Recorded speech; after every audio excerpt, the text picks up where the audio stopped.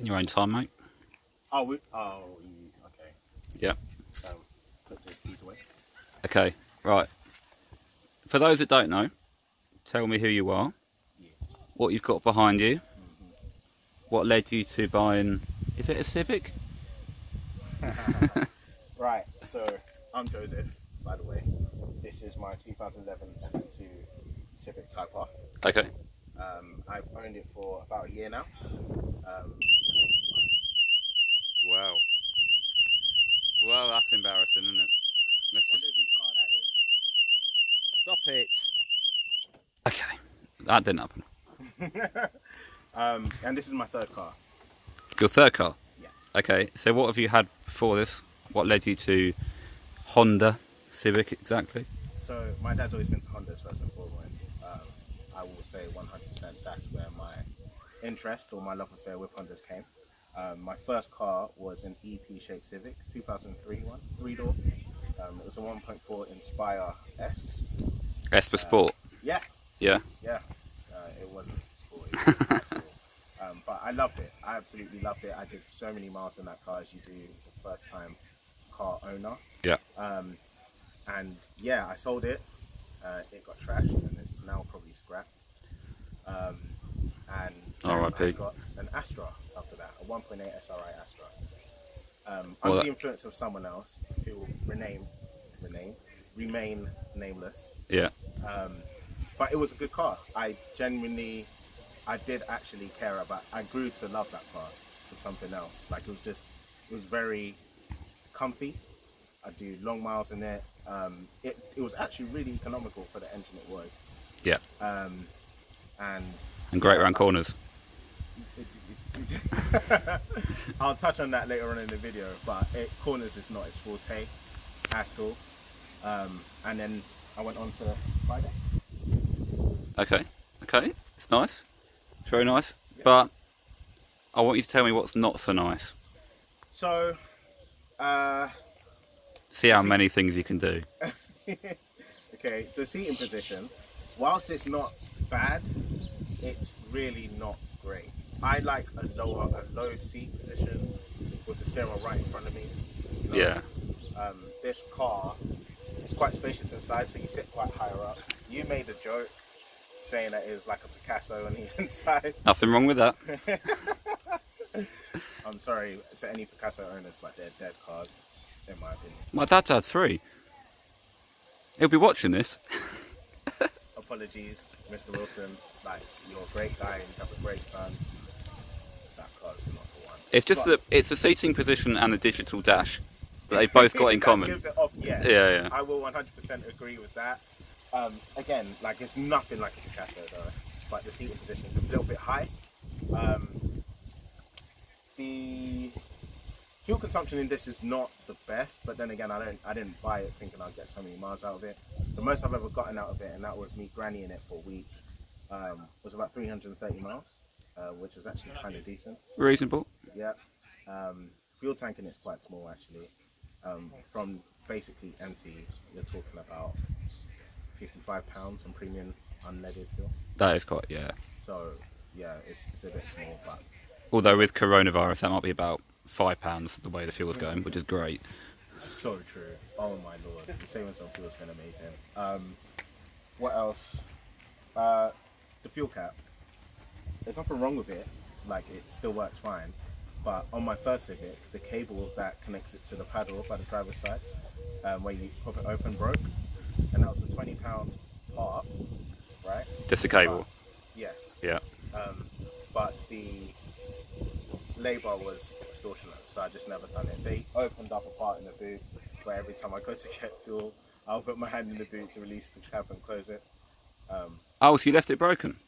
oh yeah, I sold it to the person I sold it to with the part in the boot and told him, yeah, you just go and get it fixed if you want to. Yeah. He never did. He didn't do that. In that. fact, he went and destroyed the rest of the car. So Well, how about that?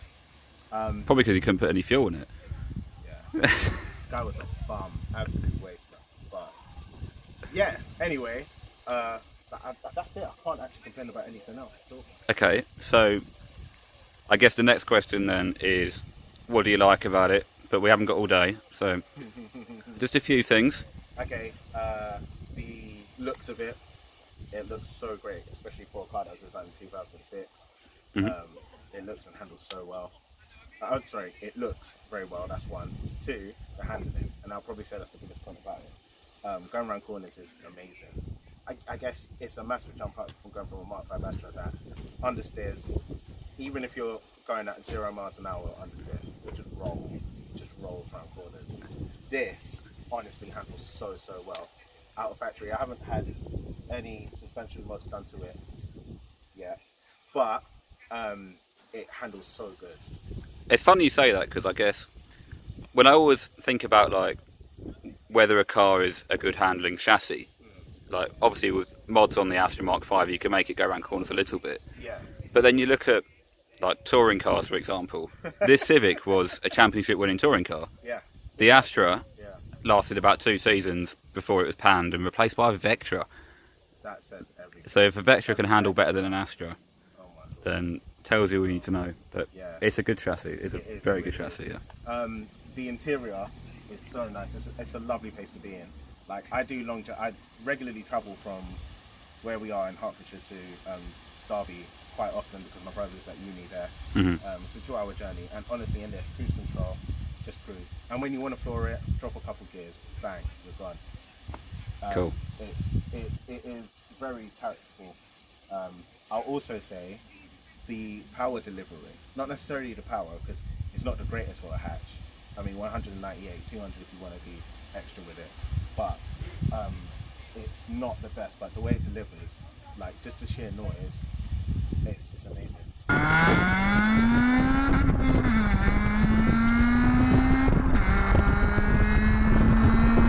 When your engine sounds louder than your exhaust, it says it, it, speaks volumes Yeah, for sure. quite literally. No pun intended. um, Okay. And finally, what are your plans? What are you going to do when you own it? when I own it, Oh, okay. Whilst you own it. yeah. Thank you. Under my own ownership. um, I do own this. It's not stolen, right? Just put out there. Um, I I've already done a few things. Um, I put a double din JVC um, stereo system in there, which has Android Auto and Apple CarPlay. Nice. Um, so that's quite set up the interior quite a bit actually. Um, I've upgraded the pads and the disc, so all round they've got MTEC discs Okay. um, and EBC Redstuff pads at the front, um, which has helped with the braking quite a lot, actually massively. Um, I'm going to be uh, lowering it, which will be on the channel, um, by myself, me and my dad and Callum. Oh, I'm looking forward to filming that one. Yeah, that's going to be a long day, but it'll be good once it's done. You, yeah, I'm not the most hands-on. nah, it's cool. It's fine. You can handle the media. It's all good. You can you handle the coverage. Yes, I can. I can manage that. Yeah. Yeah. Thanks. Um, and I also want to get spacers, nothing drastic, but to make the wheel stand stick out once they are lowered. Spacers, yeah. Yeah. Okay. That'll help your front tyres. yeah. Uh, the front tyres have not lasted in any way, shape, or form. Um, six months. Just out there, people are looking to get brand new tyres and then thrash it on them. Six months. Goodyear, F1. Eagle F1, sorry. Asymmetric fives. So not fours, not three, fives. Um, and six months and then it needs to be changed. Oh dear. Well, So, yeah. okay. Anything else you want to tell us about it? Or Uh, no, no? not really. It's yeah. I mean, you'll follow what I do with it in the future. Yeah. On the channel. Yes, we will. Stuff. Um, and yeah, I mean, Cool. it's a lovely. Thank you, Joe. It is.